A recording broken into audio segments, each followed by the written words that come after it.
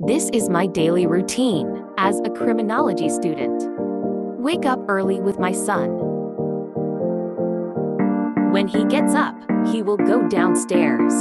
I will be left in the room to fold and arrange our blanket and pillow. When I leave our room, I will sweep upstairs.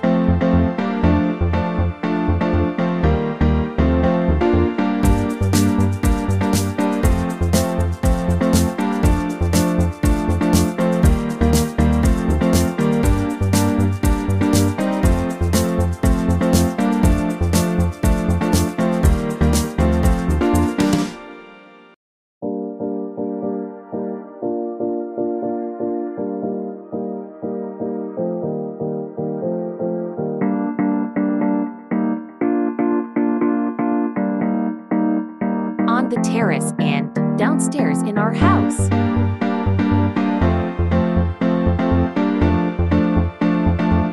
After I sweep, I will mop down to our terrace. That's what I always do,